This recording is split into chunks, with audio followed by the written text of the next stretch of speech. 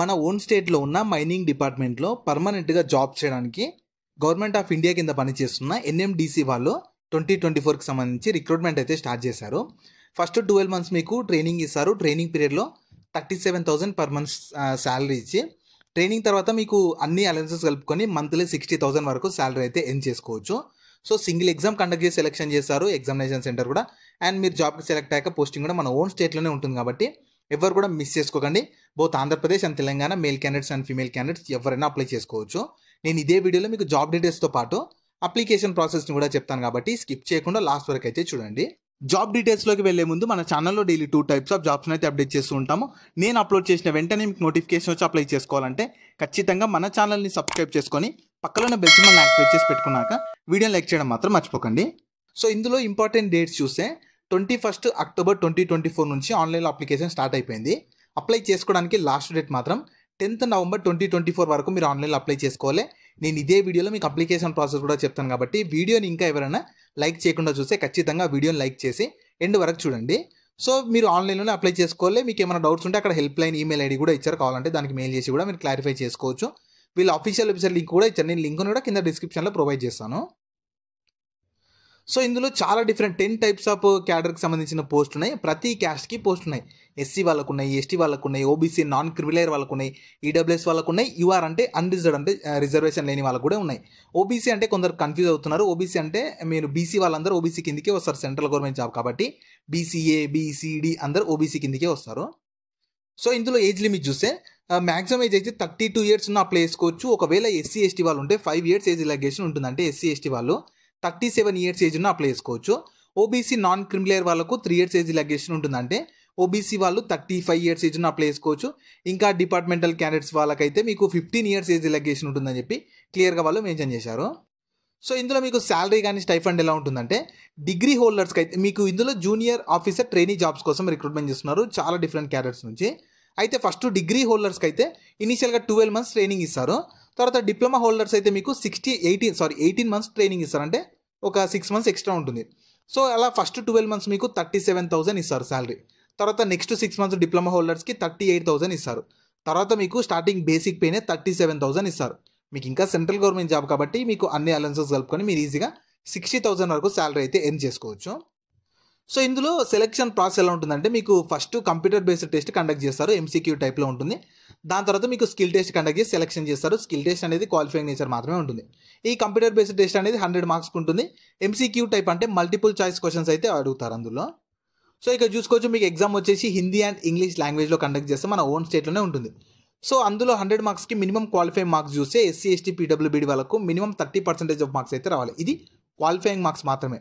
తర్వాత OBC non creamy layer వాళ్ళకు thirty seven percentage of marks రావాలి అన్రిజర్డ్ అండ్ ఈడబ్ల్యూఎస్ వాళ్ళకి ఫార్టీ పర్సెంటేజ్ ఆఫ్ మార్క్స్ అయితే రావాలి తర్వాత మీకు ఎగ్జామ్ తర్వాత మీకు స్కిల్ టెస్ట్ ఉంటుంది కదా స్కిల్ టెస్ట్కి ఎలా తీస్తారంటే వన్ ఇస్ టు త్రీ అంటే ఒక పోస్ట్కి ఒక త్రీ మెంబర్స్ని తీసి అలా మీకు స్కిల్ టెస్ట్ కండక్ట్ చేసి సెలెక్షన్ అయితే చేస్తారు.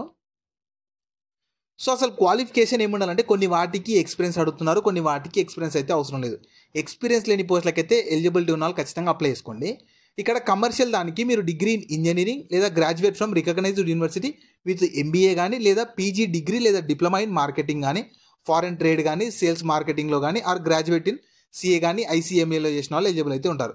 తర్వాత ఎన్విరాన్మెంట్ దానికైతే మీరు డిగ్రీ ఇన్ సివిల్ చేసినా లేదా కెమికల్ మైనింగ్ ఎన్విరాన్మెంట్ ఇంజనీరింగ్ కానీ లేదంటే పీజీ డిగ్రీ ఇన్ ఎన్విరాన్మెంట్ కానీ మేనేజ్మెంట్ కానీ ఇంజనీరింగ్ కానీ ఎన్విరాన్మెంటల్ సైన్స్ కానీ జియాలజీ కానీ కెమిస్ట్రీ సో ఇందులో ఏది ఉన్నా మీరు ఎలిజిబుల్ అయితే ఉంటారు. ఇంకా జియో దానికైతే మీరు ఎంఎస్సి లేదా ఎంఎస్సి ఇన్ టెక్నికల్ చేసిన అంటే MTech in geology from recognised university చేసిన ఎలిజిబుల్ అయితే ఉంటారు. సో ఇక్కడ ఎక్స్పీరియన్స్ దగ్గర మీకు త్రీ ఇయర్స్ డిప్లొమా చేసిన వాళ్ళకైతే ఎక్స్పీరియన్స్ అడుగుతున్నారు. ఒకవేళ మీరు డిగ్రీ మైనింగ్లో చేస్తే మాత్రం మీకు ఎలాంటి ఎక్స్పీరియన్స్ అయితే అవసరం లేదని చెప్తున్నారు. తర్వాత సర్వే దానికైతే మీరు three years diploma in mining చేసిన ఎలిజిబుల్ ఉంటారు. లేదంటే మైన్స్ అండ్ మైన్ సర్వేయింగ్ చేసిన ఎలిజిబుల్ అయితే ఉంటారు. కానీ ఈ సర్వే దానికి కూడా మీకు ఎక్స్పీరియన్స్ అడుగుతున్నారు. నెక్స్ట్ కెమికల్ దానికి మీరు ఎంఎస్సి కెమిస్ కెమిస్ట్రీ కానీ లేదంటే డిగ్రీ ఇన్ కెమికల్ ఇంజనీరింగ్ చేసిన వాళ్ళు ఎలిజిబుల్ ఉంటారు. ఇలాంటి ఎక్స్పీరియన్స్ అవసరం లేదు. తర్వాత సివిల్ దానికైతే మీరు three years diploma in civil చేసిన ఎలిజిబుల్ ఉంటారు. లేదంటే డిగ్రీ ఇన్ సివిల్ చేసిన ఎలిజిబుల్ ఉంటారు. ఒకవేళ మీరు డిప్లొమా చేస్తేనేమో ఖచ్చితంగా మీకు ఎక్స్పీరియన్స్ అయితే ఉండాలని చెప్పి వాళ్ళకి క్లియర్గా నోటిఫికేషన్లోనే ఇచ్చారు. సో మీకు ఎక్స్పీరియన్స్ లేని వాటికైతే ఖచ్చితంగా మీరు అప్లై చేసుకోండి. కొన్ని వాటికి ఎక్స్పీరియన్స్ డిప్లొమా హోల్డర్స్కి అడుగుతున్నారు. డిగ్రీ వాళ్ళకైతే ఎలాంటి ఎక్స్పీరియన్స్ అయితే అవసరం అయితే లేదు. మీరు ఖచ్చితంగా నేను నోటిఫికేషన్ పీడిఎఫ్ని కింద డిస్క్రిప్షన్లో ప్రొవైడ్ చేస్తాను ఖచ్చితంగా ఒకసారి డౌన్లోడ్ చేసుకొని ప్రాపర్గా చెక్ చేసుకోండి.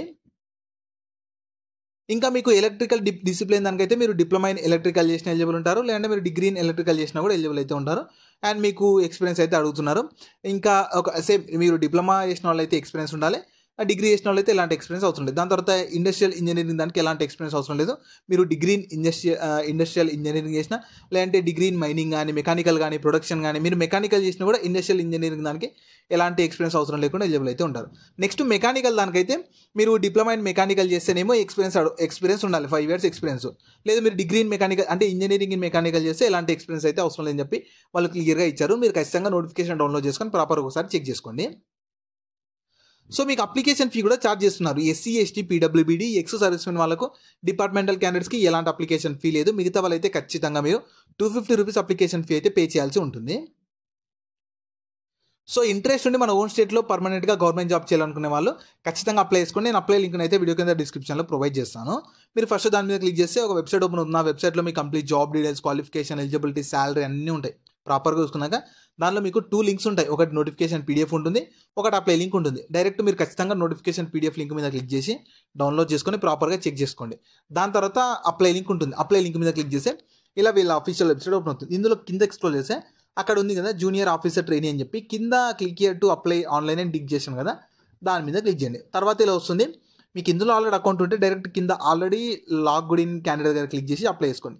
లేదు ఫ్రెష్గా అకౌంట్ క్రియేట్ చేసుకోవాలంటే నేను డిక్ చేశాను కదా క్రియేట్ లాగిన్ అని చెప్పి దాని మీద క్లిక్ చేయండి. తర్వాత ఇలా వస్తుంది మీ నేమ్ ఇవ్వండి మీ టెన్త్ క్లాస్ సర్టిఫికేట్లో ఎలా ఉంటుందో అలా మీ నేమ్ మీ డేట్ ఆఫ్ బర్త్ కూడా ఇచ్చేసి డేట్ ఆఫ్ బర్త్ని రీఎంటర్ చేసి మీరు ఏ పోస్ట్కి అప్లై చేస్తున్నారు? మెకానికలా కెమికలా ఏది ఉంటే ఏది సివిల్ ఏది ఉంటే అది ఏది ఇంట్రెస్ట్ ఉంటే ఏది ఎలిజిబుల్ ఉంటే దాన్ని సెలెక్ట్ చేసుకోండి.